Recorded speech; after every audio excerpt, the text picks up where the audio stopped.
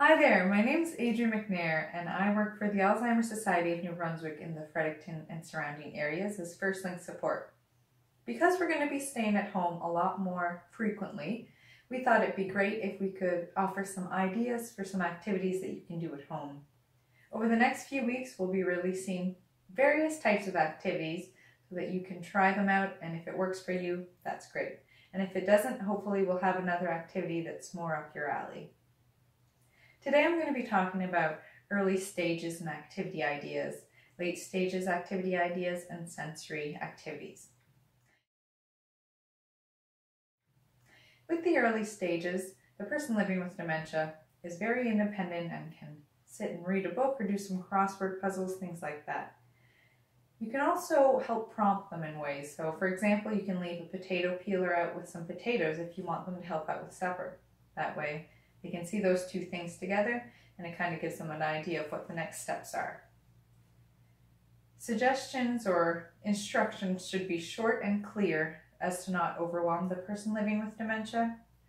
And during these uncertain times, it's important to set aside a time of the day to do something enjoyable together, which could be going for a walk outside or sitting together and reading the newspaper looking through a photo album and to turn that into an activity you could talk about picking out all the photos that have someone wearing a yellow shirt or something like that. Great ideas for early stages is doing a puzzle together, doing a craft together, maybe even some trivia. I have a great game where I always finish the end of an old expression, like two peas in a pod. Cat got your tongue. That's a great way to spend time together and it's a great way to make sure you're exercising your brain. Light exercises are also great, even if it's just lifting weights on a chair, something like that, depending on your mobility. But make sure to always ask your physician before doing any exercises. Chores around the home are great and prompt would be that you pass them a broom and ask if they can sweep up a certain area or even washing windows. It is spring cleaning after all. The internet is such a great resource right now. There's a lot of puzzles or crosswords online. Even watching a funny cat video can cheer you up on a tough day.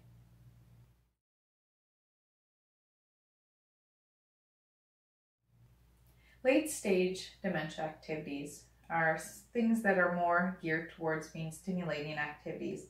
They might not be able to do something as independently as they once did, but they still have dignity and should be respected. As the disease progresses, we often still keep our sense of humor. So this is another time where you could watch funny cat videos together. Try to keep the activities that you do together short and sweet as the attention span might not be as long as it used to be. Don't take anything personally. Sometimes it can be frustrating when you don't think someone's enjoying the activity, but try to remember that they have a different reality and short and sweet might be better for them. So making sure that you tailor the activities to them and one day it might not work, but one day it might. So for later stages, you can do things like tying or untying yarn and rolling it up again, or making a knot and asking them if they can untie the knot for you. Sorting socks, things like that, even if they're not sorted correctly that's okay. Uh, getting a deck of cards, you might not be able to play crib or hearts anymore, but asking them to separate the cards by color or by numbers or by clubs and diamonds.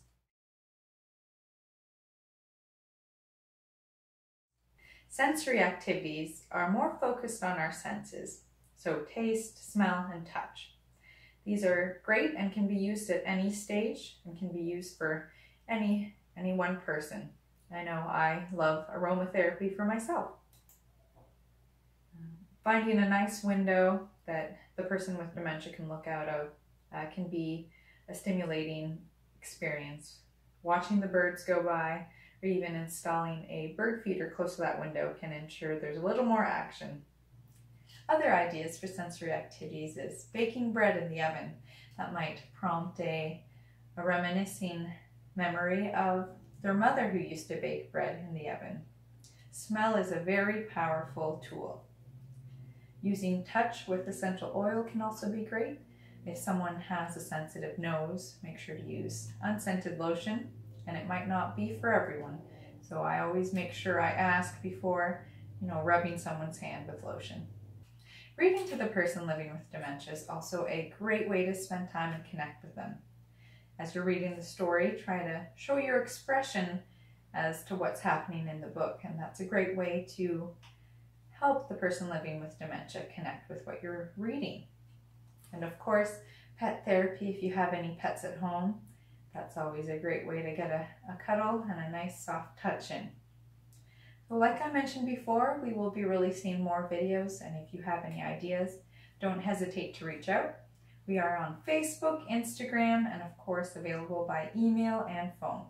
I hope you have a lovely day.